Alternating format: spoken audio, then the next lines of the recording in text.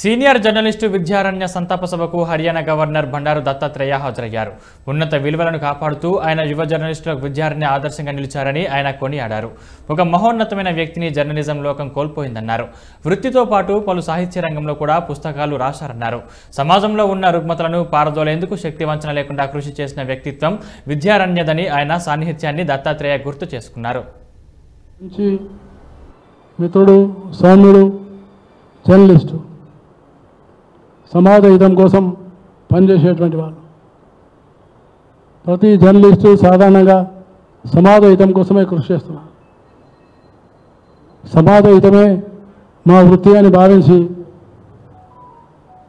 అనేక మంది పేదల యొక్క హృదయాల్లో స్థానాన్ని సంపాదించారు. కాబట్టి నాకు విశ్వాసం ఉంది.